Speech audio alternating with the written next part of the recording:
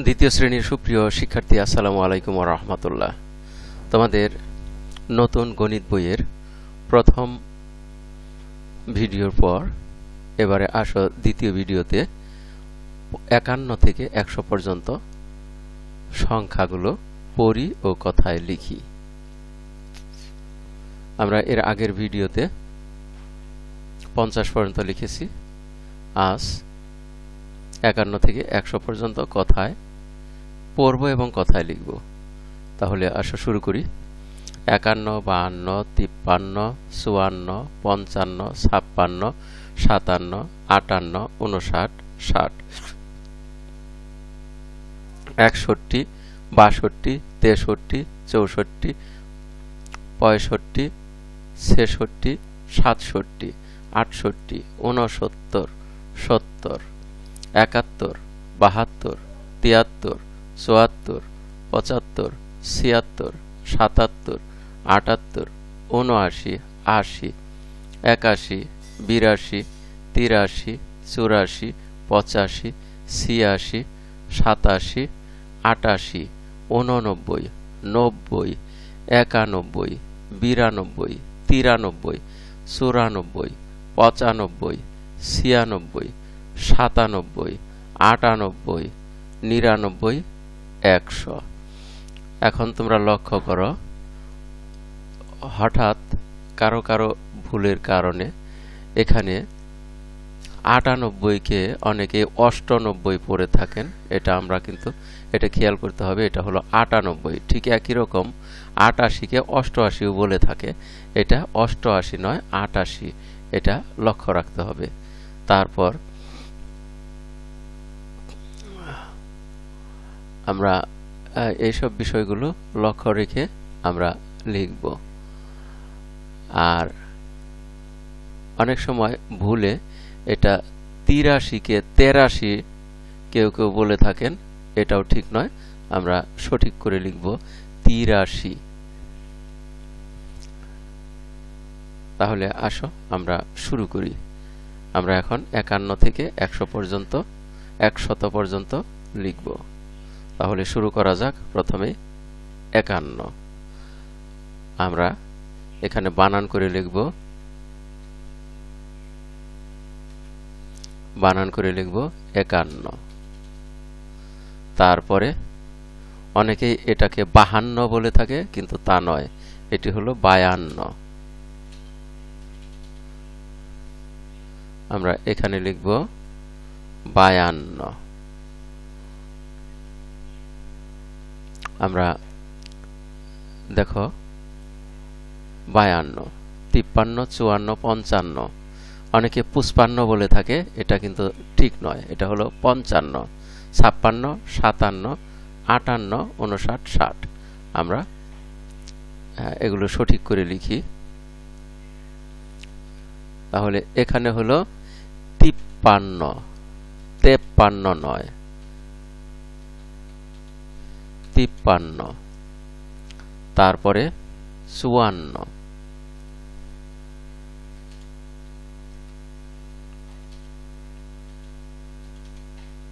চুয়ান্ন। এটাকে অনেকেই পুষ্পান্ন বলে থাকে, এটাও কিন্তু ঠিক নয়, পঞ্চান্ন। তারপর এটাকে অনেকে ছিয়ান্ন বলে, তাও কিন্তু ঠিক নয়, ছাপ্পান্ন। এটা লক্ষ্য করে ঠিক করে লিখবে এবং ঠিক করে উচ্চারণ করবে। তারপর সাতান্ন। তারপর আটান্ন।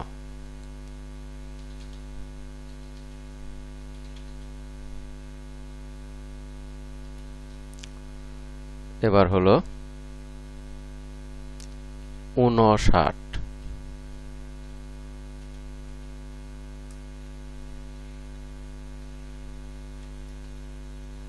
উনষাট এখানে উনষাট বানানটা ভালোভাবে লক্ষ্য করো।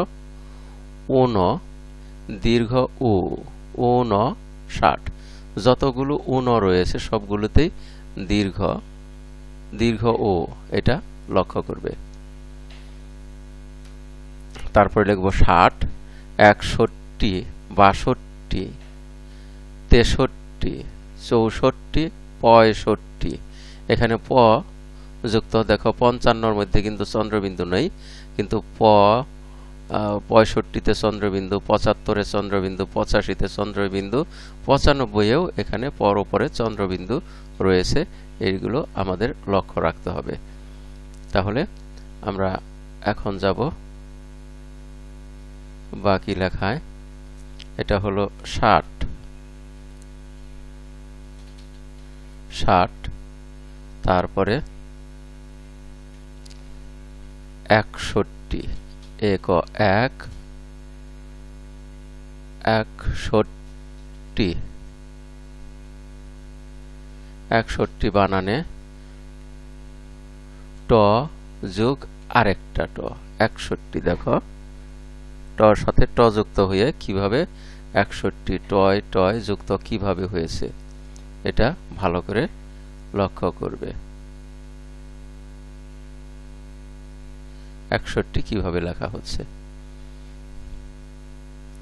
তাহলে আমরা একষট্টি লিখলাম, তারপর লিখব বাষট্টি, তেষট্টি, চৌষট্টি, পঁয়ষট্টি, ছেষট্টি, সাতষট্টি, আটষট্টি উনসত্তর সত্তর। তাহলে আসো, তারপরে লিখি বাষট্টি।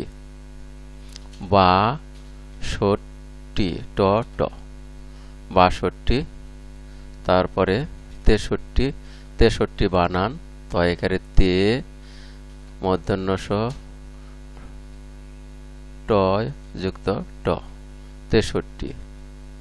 তারপরে হলো চৌষট্টি। চৌষট্টি। টয় টয় যুক্ত, ট ট। পঁয়ষট্টি। এখানে পঁয়ষট্টি বানানে চন্দ্রবিন্দু রয়েছে প পর, পরে একটা চন্দ্রবিন্দু রয়েছে, তারপরে অন্তস্থ তারপরে মধ্যাহ্নস তারপরে ট ট যুক্ত ঋস্বইকার পঁয়ষট্টি, এবার হলো ছেষট্টি। সে ষট্টি। তারপরে সাতষট্টি। লক্ষ্য করো কীভাবে সাত, ষট্টি। মধ্যাহ্নস্ব টয় টয় রস্বইকার আটষট্টি। আটষট্টি বানানে স্বরে আট আট মধ্যাহ্নস টয় টয় যুক্ত রস্বইকার আটষট্টি, এবার হলো ঊনসত্তর। ঊন বানানে দীর্ঘ ও ন, তারপরে দন্তস্ব তয় তয় যুক্ত র। ঊনসত্তর, সত্তর। সত্তর। এবারে শুরু করব একাত্তর থেকে।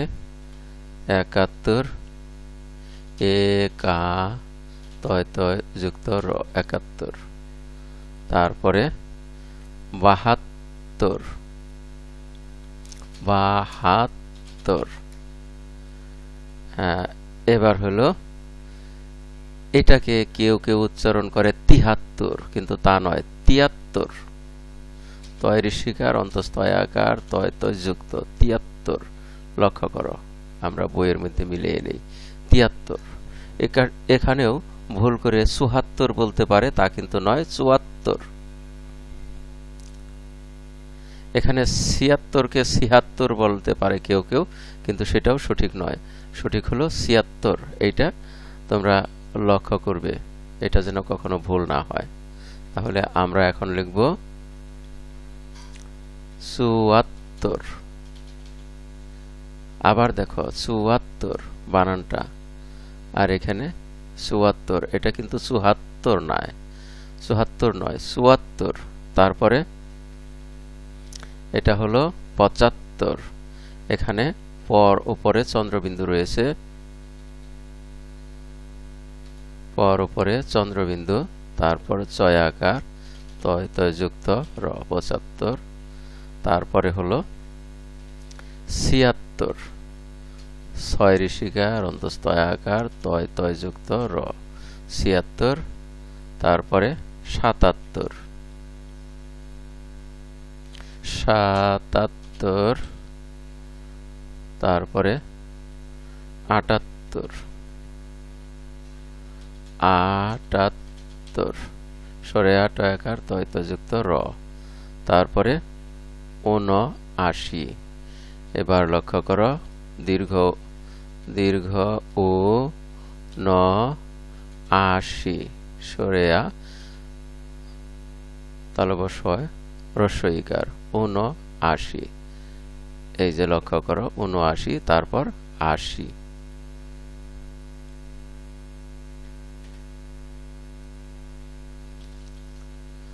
আশি।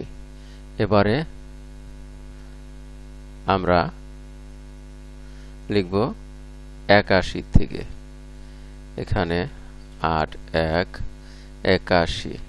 এ কয়াকার তালব্য, ছয় রস্বইকার তারপরে হলো বিরাশি। বিরাশি। তারপর তিরাশি। তিরাশি বানানটা দেখো। তৈরি শিকার রয়াকার তালব্য, ছয় রস্বইকার তারপরে হলো চুরাশি সুরাশি। তারপরে পঁচাশি। এখানে পঁচাশিতে লক্ষ্য করো, পর উপরে একটা চন্দ্রবিন্দু। পর উপরে একটা প, তার উপরে একটা চন্দ্রবিন্দু রয়েছে, পঁচাশি। তারপরে এটা হলো সিয়াশি লক্ষ্য করো। ছিয়াশি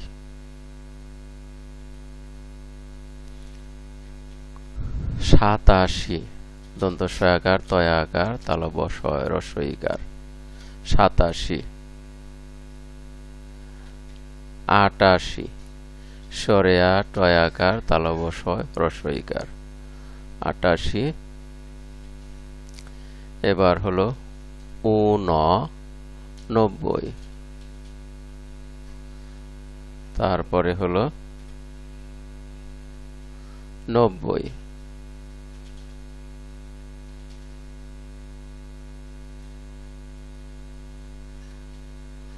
নব্বই। আমরা এরপরে লিখব একানব্বই থেকে একানব্বই একানব্বই। তারপরে বিরানব্বই বি রয়াকার ন বয় বয়যুক্ত রস্যই এখানে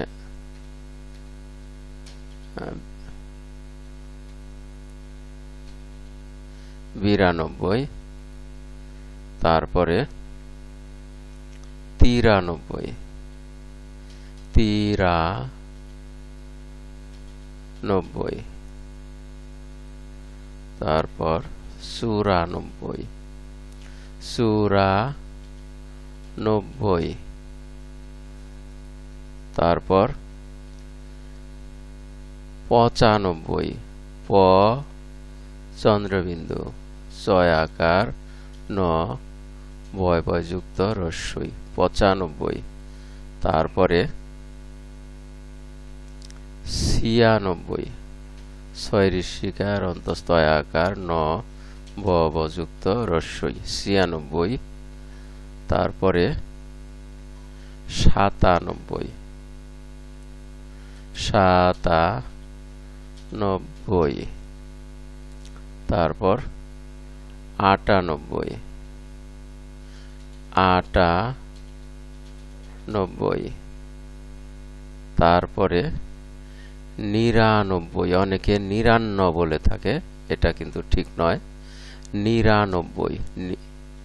নয় ঋষিকার অন্তস্থ রয়াকারে, রা, ন, বয়বযুক্ত, রস্যই।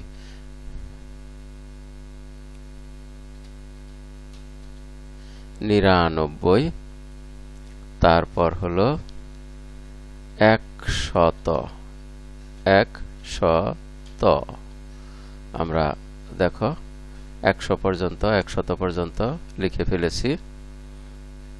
ছয় পৃষ্ঠা শেষ, আমরা তারপরে পরবর্তী ভিডিওতে পরের পৃষ্ঠাতে যাব।